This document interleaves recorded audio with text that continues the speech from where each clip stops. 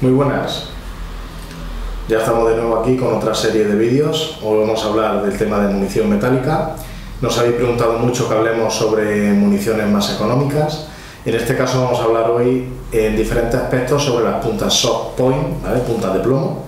Aquí tenemos, por ejemplo, la GECO soft point y aquí tenemos la Power Soft, también la soft point de Aquí tenemos una casa federal y la casa GECO, dos puntas que son relativamente económicas, de lo más económico que hay, si se puede llamar económico, a como tenemos hoy los precios que ha subido ya sabemos todo bastante pero son dos precios muy competentes. Son balas indicadas sobre todo para tiros entre los 200, de 200 250 metros para abajo. No son puntas que sean excesivamente aerodinámicas como son las puntas de polímero para disparo a larga distancia. Esto no quiere decir que no se puedan utilizar, que por supuesto se pueden utilizar. De hecho, yo tengo anécdotas de alguna RUI que tenemos aquí hecho a 400 o 450 metros con puntas soft point. Vamos a hablar de los detalles de ella, vamos a ver la longitud total de la, de la vaina con el proyectil, es decir, de la bala completa. Vamos a ver los pesos que tienen ambas para ver las calidades que trabajan estas gamas y vamos después a hablar un poquito de, de unas puntas soft point sobre el tema de cuando están metidas hacia adentro y dañadas de tanto entrar y salir, cuando están nuevas y qué consecuencias tienen el peso, el hecho de una punta que ya está dañada, intentar retocarla con una lima, con una enveriladora y eh, devolverle otra vez la punta. ¿vale? Vamos a ver la pérdida de peso que hay, la importancia que hay en el tema de la precisión y la aerodinámica por bajarle grains. Así que vamos a dar paso a ello. Eh, en este caso estamos viendo el calibre 3006 y el 308, pero en fin, esto es aplicable a cualquier otro calibre, obviamente. Vamos a comenzar primeramente con el tema, por ejemplo, de la bala GECO. Vamos a comenzar, vamos a sacar cinco balas. Esta, por ejemplo, esta, esta y esta. Vamos a sacar estas cinco. Vamos a sacar aquí detrás mismo.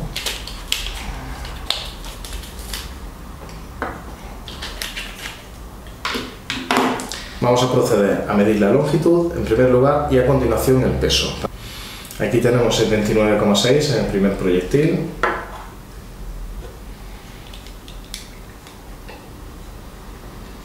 ...79,6 en el segundo...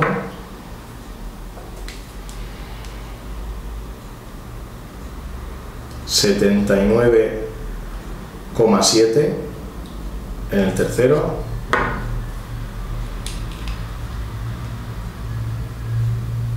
79,6 en el cuarto.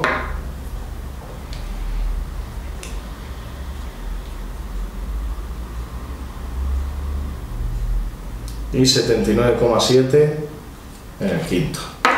Aquí podemos ver que la variación es mínima y obviamente no se va a tratar exclusivamente de un milímetro, seguramente serán décimas. Pero para una munición recargada, eh, o sea, para una munición comercial y para las características que les pedimos a estas balas, no está nada mal. Ahora vamos a ver el tema del peso. 27,52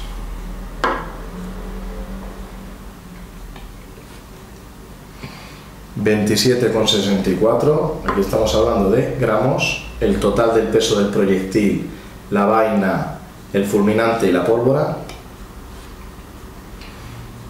27,54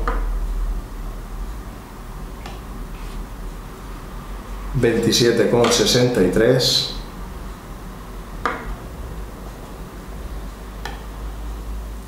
27,64. Aquí sí podemos ver que hay una leve diferencia en el tema del pesaje interno. A muy buen seguro las vainas serán exactamente iguales, pero la pólvora seguramente que habrá algún tema de que tenga algún granito más que otro alguna de las vainas. Vamos a continuar con el tema de la Federal. Vamos a proceder a hacer las mismas pruebas para ver los estándares de calidad de ambas.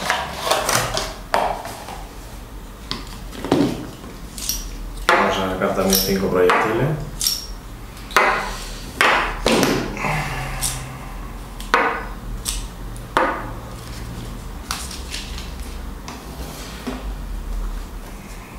Vamos a proceder a ver la longitud total. Después, en un plano detalle, os vamos a enseñar con munición que tenemos aquí eh, tanto las puntas soft point como hemos dicho de los detalles y qué es esto de que la bala o el proyectil entre más o menos. Con esta bala vamos a poner un ejemplo para que entendáis el por qué estamos haciendo este tipo de mediciones.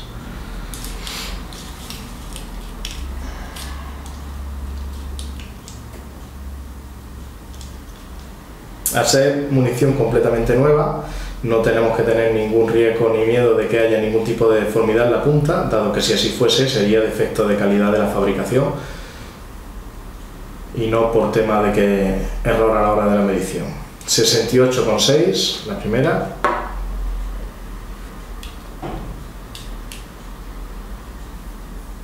...68,6 la segunda...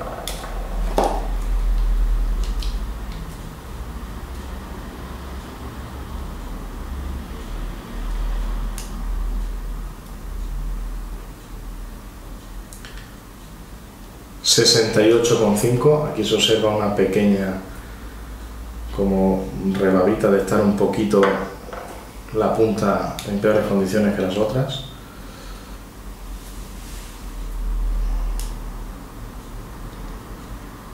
...68,6...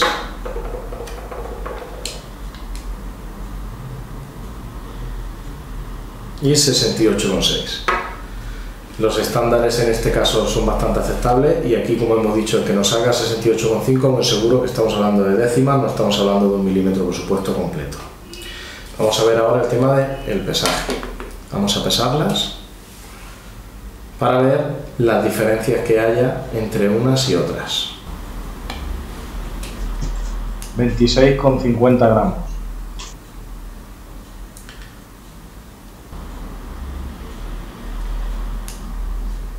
26 con 46 gramos. Veintiséis con cuarenta y seis gramos.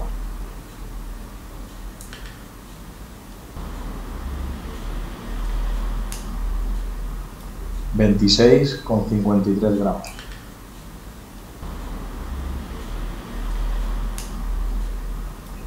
26,51 Tenemos algún margen de diferencia que pueden ser diferentes factores, entre que las puntas de plomo a la hora de la fabricación, cuando se sacan de las matrices, cuando se sacan del momento de carga, hayan tenido algún roce, hayan perdido algunas micras y te van perdiendo peso, hasta incluso lo que hemos dicho, la pólvora internamente, en vez de llevar 200 gránulos, por poner un ejemplo, una lleven 197, otra lleven 202, y solo que te va haciendo que te vaya variando en, en esas décimas de uno a otro.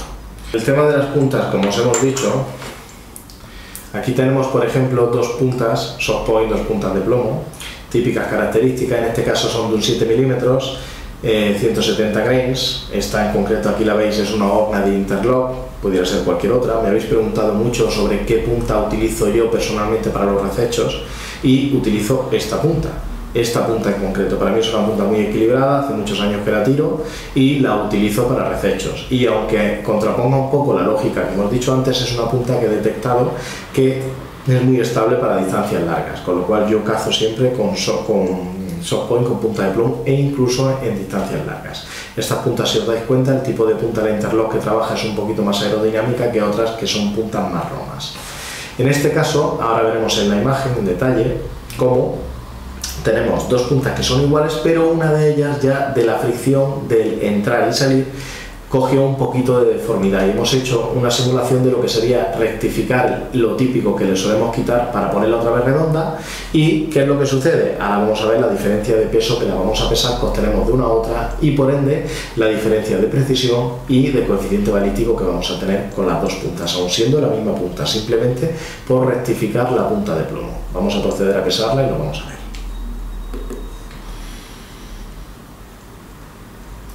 En este caso la punta íntegra sin tener ningún tipo de defecto tenemos 11,3435 que es lo que nos marca ¿vale?